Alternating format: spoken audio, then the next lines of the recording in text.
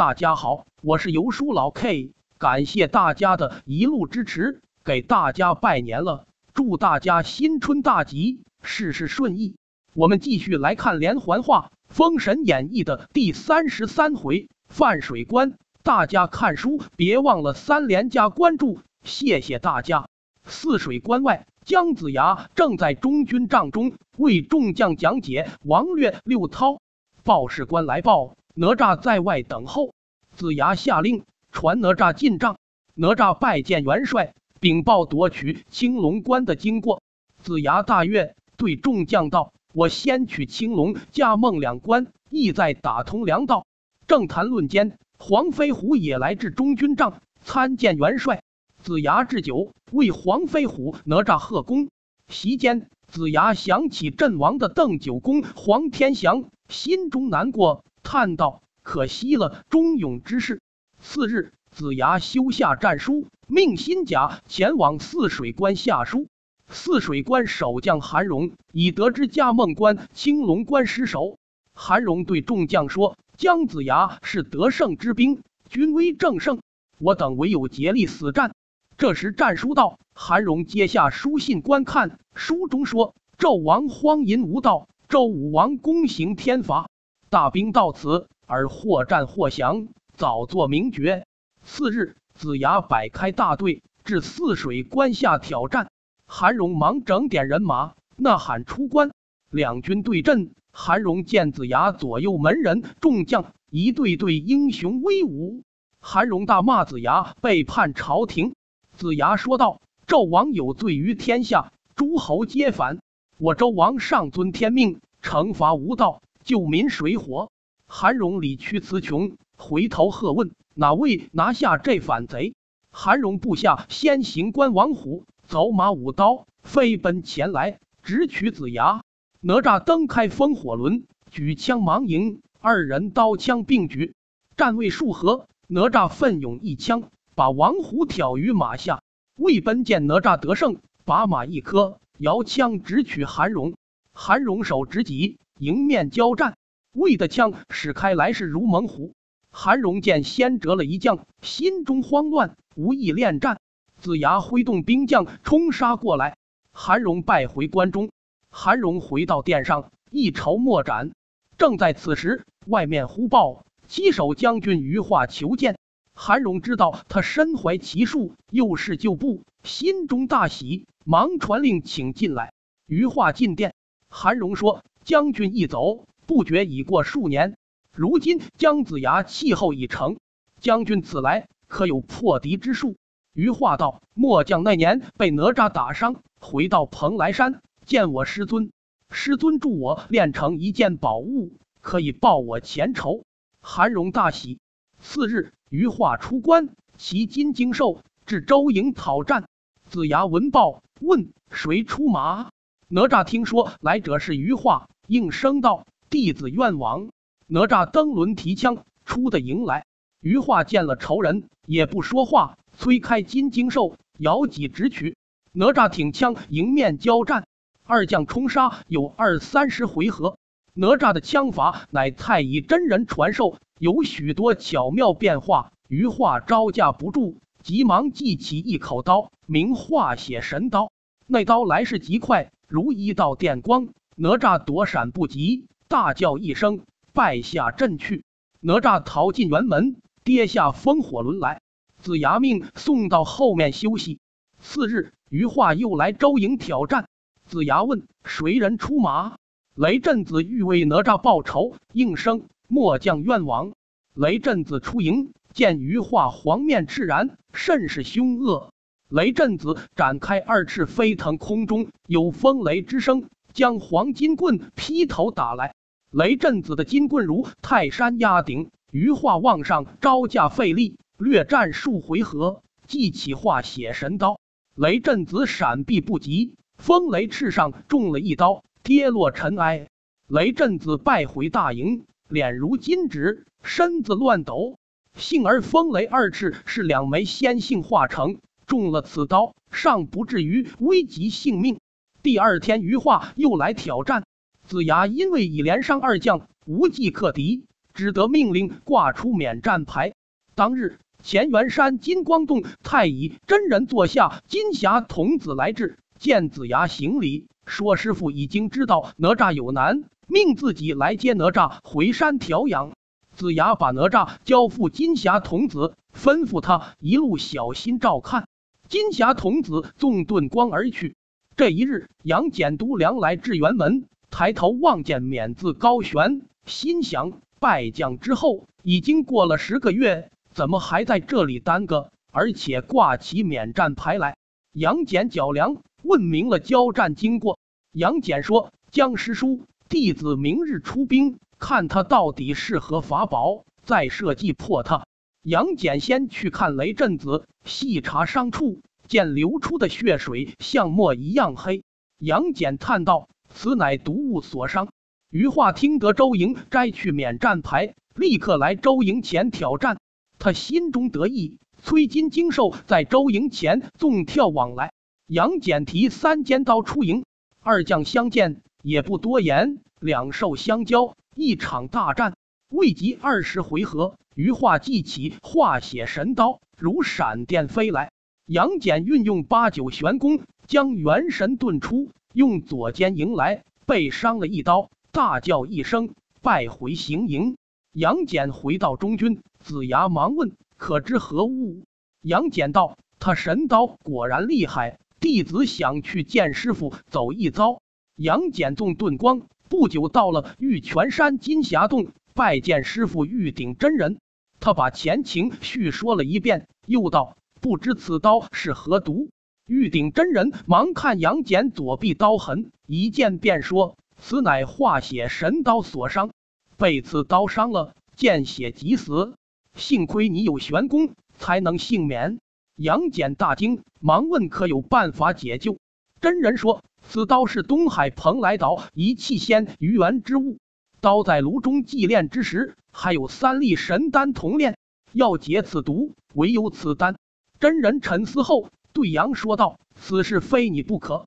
如此如此，可得丹药。”杨戬大喜，拜谢师傅，纵遁光往蓬菜岛而去。半晌方至，只见好个海岛，一景奇花，观之不尽。杨戬将在彭菜岛上施展八九玄功，变成七手将军鱼化模样，入洞见一气仙鱼猿，倒身下拜。鱼丸见来者是鱼化，忙问来意。贾鱼化说：“弟子对敌江上，遇着杨戬，弟子用刀去伤他，被他一指，把刀指回来，伤了弟子肩臂，望师傅救我。”鱼圆惊讶道：“有这等事？”幸而当时练此宝刀，同练了三粒丹药。于元随将丹取出，交与贾鱼化。贾鱼化谢恩，忙出离洞府。贾鱼化走后，于元静坐思忖：杨戬有何本领，能破我的化血刀？若鱼化被刀伤了，他怎么还能来到这里？于元掐指一算，顿时醒悟。于元纵身骑上金眼五云驼，把那兽头顶一拍。那坨四足就起金光，飞在空中来追赶杨戬。杨戬早有提防，正往前走，听见后面风声紧急，已知鱼猿追来，暗中把哮天犬放起，伏在空中。鱼猿只顾追赶，未防暗算，看看赶上杨戬，正待伤他，哮天犬突然从云中钻出来，一口咬中脖颈。顿时鲜血直流，衣袍都被扯去了半边。于元吃了大亏，不能前进，只得返回洞府取丹药疗伤。痛恨杨戬，咬牙切齿。杨戬回大营见子牙，献上丹药。子牙大喜，忙取丹药医治雷震子，又派木吒赶往乾元山送此药救哪吒。次日，杨戬往关下挑战。余化闻报，上了金睛兽，提戟出关。二人一见，杨戬大喝：“余化，前日你用化血刀伤我，怎知我炼有丹药？你能奈我何？”余化暗想：此丹只有我师傅能炼，周莹怎能也有此丹？若他有这丹，化血刀也无用了。他催开金睛兽，大战杨戬，刀戟并举，三十余回合不分高低。正杀之间，雷震子伤愈，展开风雷双翅，当空飞来，轰雷般大喝：“余化贼子，敢用恶刀伤我，吃我一棍！”抡动黄金棍，劈头打来。余化力战二将，左支右绌，看看不敌。正待逃走，杨戬早记起哮天拳，正咬中余化后颈。余化痛得连连怪叫。雷震子乘隙一棍打来，余化将身急闪，那棍正中金睛兽背上。这兽腹痛狂跳，把余化掀翻下地。杨戬加上一刀，结果了余化性命。二将得胜回营。子牙传令，把余化首级高悬辕门。泗水关韩荣闻报余化阵亡，大惊，忙聚集众将商议，正不知所措。帅府外来了一个头陀，韩荣将接相迎。只见这道人十分凶恶，身高一丈七八，面如蓝靛，目射凶光。韩荣拜问仙师，在那座名山修炼。道人说，贫道乃东海蓬莱岛一气仙鱼元。杨戬道我丹药杀我弟子，欺我太甚。今日下山来报此仇，韩荣大喜。次日，于元出关，至周营辕门前，指明要子牙答话。子牙得报，知道来了截教能人，忙摆队伍出营。子牙见于元骑金睛五云驼，头戴鱼尾冠，身穿大红袍，形貌狰狞，也觉骇然。于元道：“姜子牙，你叫杨戬出来见我。”子牙道。道兄，余化逆天行事，螳臂挡车，上天借手杨戬除去，你何故妄动无名之火？于元大怒，妖言惑众，原来你才是罪魁祸根。于元催开五云陀，仗宝剑直取子牙。子牙手中剑负面交还，左有李靖，右有维护，各举兵器齐来助战。四人一场大战，于元的宝剑光华灼灼。子牙鞭彩色恢恢，李靖枪寒光灿灿，维护楚杀气腾腾。二十余合，胜负不分。于元见不能取胜，把一尺三寸金光错系在空中来伤子牙。子牙忙斩杏黄旗，现出母许黄云保护其身。于元收错，正欲去打李靖，不敌防子牙计，齐打神鞭来，一鞭正中于元后背。直打的三昧真火喷出，于元受伤，大叫一声，把金眼五云驼顶上一拍，只见那驼四足立起金光，望空逃去。土行孙恰好催粮来至，见子牙会兵，他远远瞧见于元的五云驼四足金光簇拥，飞腾而去，羡慕不已。我若得此奇，崔良真是方便。土行孙缴了粮。当晚至后营，与邓婵玉商议：于元坐骑四足能起金光，飞行如电，真是好。我成夜到了来，骑着崔良，岂不妙哉？邓婵玉劝道：“你要去，须先禀过元帅。”土行孙笑道：“区区小事，何必多费一番唇舌？”时至二更，土行孙钻入地下，径进泗水关，来到帅府里，在地下往上看。见于元端坐蒲团，目似垂帘，他不敢上去，只得等候。于元忽然心动，暗暗一算，已知土行孙来到他的坐骑。于元把元神出窍，假作沉睡，翻身倒卧，须臾鼾声如雷。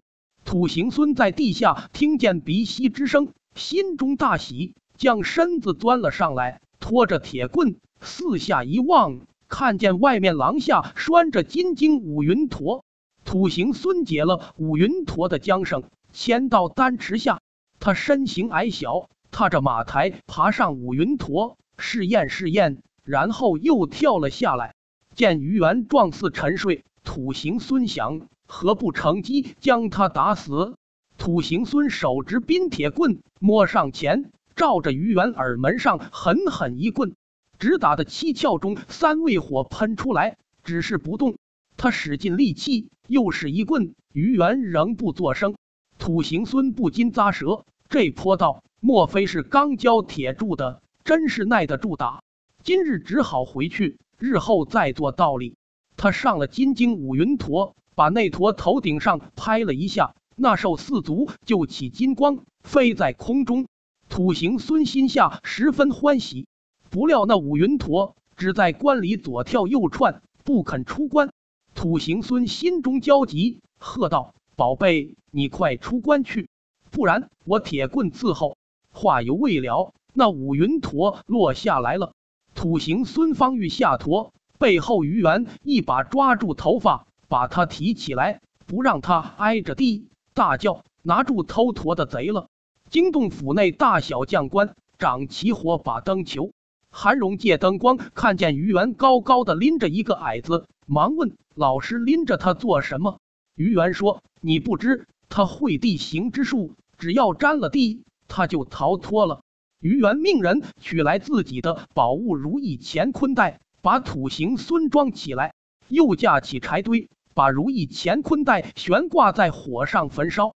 土行孙痛楚难耐。大叫：“烧死我也，命不该绝！”这时，巨留孙正在加龙山洞府默养元神，忽然光华闪耀，元始天尊坐下，白鹤童子来至，传令道：“师尊有谕旨，命师兄去救土行孙。”巨留孙领命，忙借纵的金光法，霎时以来至泗水关内，看见于元正烧乾坤袋，巨留孙使一阵旋风往下一坐。从风里伸下手来，把如意乾坤袋提走。于元正烧土行孙，忽然一阵狂风，火势突减，不见了乾坤袋。于元掐指一算，已知究竟，指天大叫：“巨留孙来至周营，南宫阔正巡外营，见有一人，便问是什么人。”巨留孙道：“是我，快通报子牙。”南宫阔认得巨留孙，忙传云板。子牙闻讯，出帐迎接，见巨留孙拎着一个袋子，便问道兄：“深夜至此，有何指教？”巨留孙道：“土行孙有火难，我特来救他。”子牙大惊。巨留孙打开如意乾坤袋，放出土行孙，问其详细。土行孙把到五云陀的事说了一遍。子牙大怒：“你要做此事，也该报我知道，为何擅自行事？”若不正军法，营规必乱，传刀斧手，将土行孙斩首号令。巨刘孙劝道：“土行孙理应严惩，只是用人之际，暂且戴罪立功。”子牙见巨刘孙苦劝，便道：“若不是道兄求情，定斩不赦。”次日，一气先于元营外挑战，指明只要巨留孙。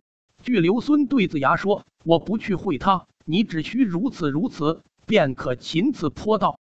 子牙摆队出营，于元一见子牙，大呼叫巨留孙来会我。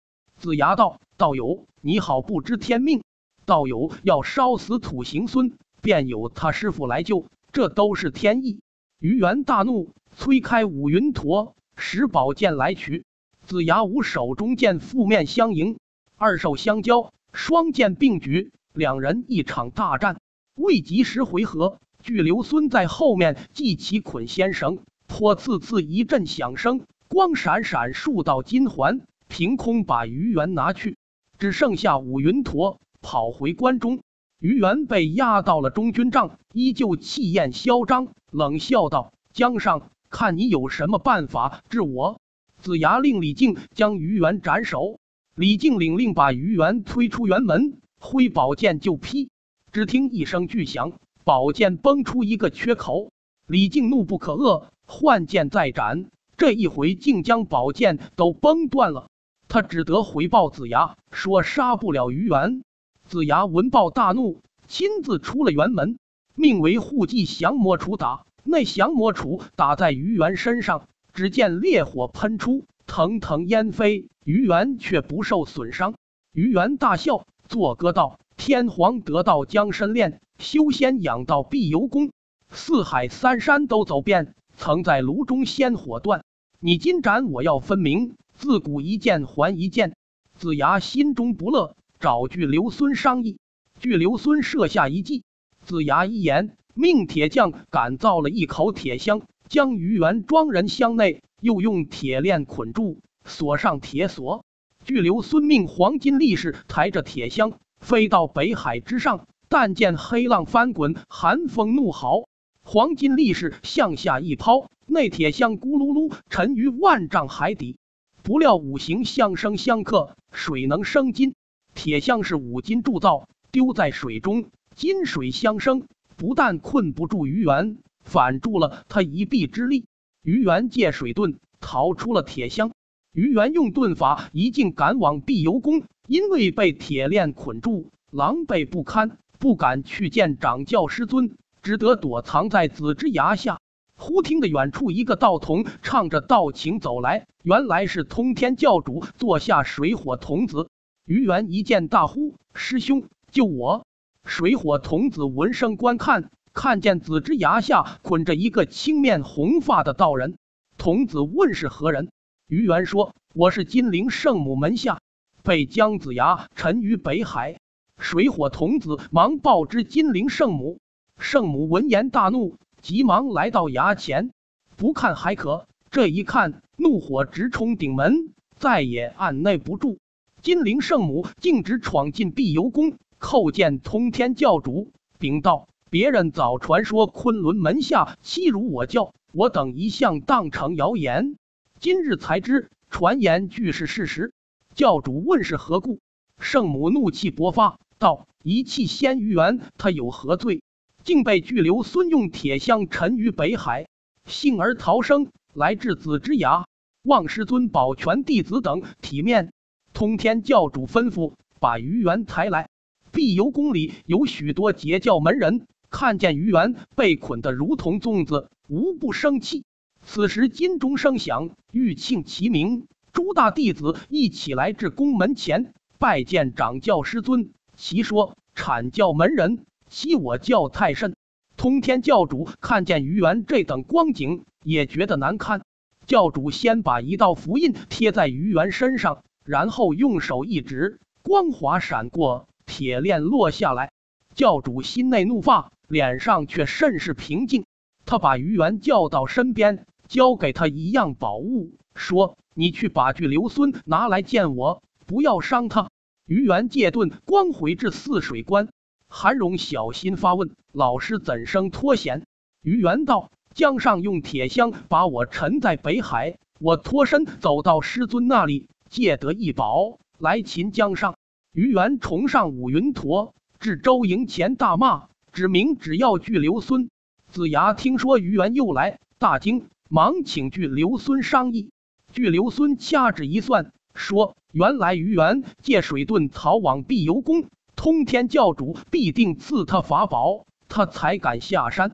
巨留孙与子牙反复记忆，巨留孙道：“还是子牙出去迎敌，我须得寻机抢先下手。若是他先祭法宝，我二人都不能抵挡。”子牙出的营来，于元一见，怒从心起，催舞云驼，恶狠狠飞来直取。子牙使剑相还，交手只一回合，巨留孙不敢怠慢。忙系起捆仙绳，于元没有提防，只听得一声响，又被拿去。子牙将于元压在帐内，这于元昂首挺胸，须发飘扬，不以为意。子牙与巨留孙商议，五行之术都杀不了于元，放又不行，如何是好？正无法可施，忽然一道惊天长虹射来，帐前降下路压道人。子牙与巨留孙忙出帐见礼。于元一见陆亚，登时吓得魂魄飞散，面色蜡黄，跪倒在地，哀求陆亚可怜他千年苦修，十分不易，大发慈悲，饶过自己，从今知过必改，再不冒犯西岐。陆亚命人布下香案，从随身花篮内取出一个葫芦，揭开盖子，里边升起一线白光，顶上现出一个七寸五分小人。眼里射出白光，盯住于元泥丸宫。陆压连拜两拜，道：“宝贝，请转身。”内宝在白光之上，陀螺般连转三转。于元斗大一颗首级落降下来，那灵魂往封神台去了。陆压斩了于元，子牙欲要号令辕门。陆压说：“不可，于元原有仙体，不可暴露，须以礼用土掩埋。”安排完毕。二位仙人辞别了子牙，各自归山。韩荣闻报，于元已死，大惊，忙聚集众将商议：于道长已亡，再无人可敌周将。若是归降，又辜负了天子。有人道：将军唯有弃官而去，既保全身家性命，又不负天子厚恩。韩荣点头叹息，传令打点辎重，装上车辆，准备出城。府中一片忙乱。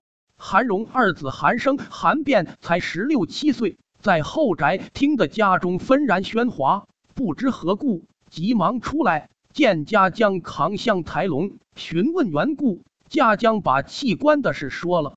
二人听罢，一齐来见父亲，问道：“父亲何故要放弃泗水关？”韩荣说：“你二人年幼，不知事务，不必多问，快些收拾离关，躲避兵祸。”韩生失声笑道：“父亲这话错了，千万莫让外人知道。父亲是朝廷大将，如今大敌当前，不思报国，反学小儿女贪生怕死，岂不污了父亲一世英名？”韩荣叹道：“我难道不知忠义？实是力有不足。”姜子牙门下多有能人异士，于元、于话剧遭毒手，何况别人？你弟兄二人虽然有忠心，但是无补实用。韩生道：“孩儿曾遇一人，习有异术，正连日操演。孩儿愿上战场，必破江上。”韩荣听罢，大出意外，心中暗喜。韩生取来一件风车，当中有一转盘，一只手握住内杆。推动周围旋转如飞，上面有四手幡，幡上有符有印，有地水火风四字，名为万仞车。韩荣看罢，问：“此是孩儿家玩耍之物，有何用处？”韩生道：“父亲不知其中妙用，且下教场，把这万仞车的威力演示给父亲观看。”韩生兄弟来至教场中，各自上马，披发仗剑。口中念念有词，只见云雾陡生，霹雳连珠，火焰冲天，半空中有百万钢刀飞来。韩荣大骇，韩荣问此宝何来？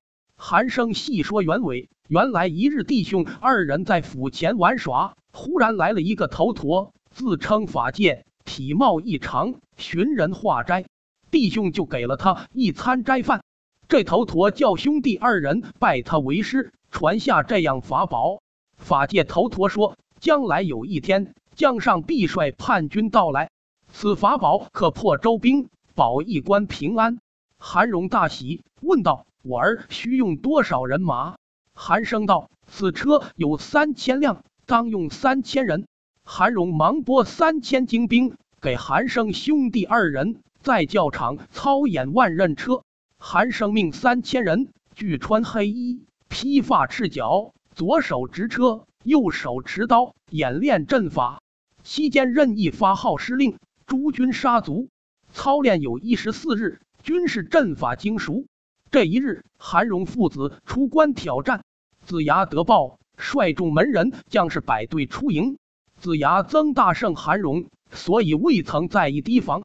子牙道：“韩将军，你速速倒戈，免之后悔。”韩荣笑道。姜子牙，你等死在旦夕，还敢耀武扬威？子牙大怒，喝令：谁把韩荣拿下？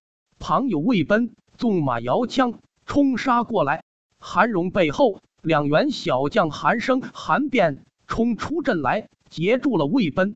交战未及数回合，韩生、韩变拨转马往后就走。魏奔自是勇猛，随后追来。韩生回头见魏奔破近。把头上冠打掉，披散头发，把枪一摆，阵后三千万刃车杀将出来。霎时黑风弥天，烈火遍地，夹着无数利刃漫天而来，势不可当。周兵大败，溃不成军，被万刃车只杀得尸山血海。混乱中，人撞人，哀声惨凄；马踩马，鬼哭神惊。未奔中刃，几乎坠下马鞍桥。武吉这刀，险些丢了性命。韩荣计上心来，忙传令鸣金收兵。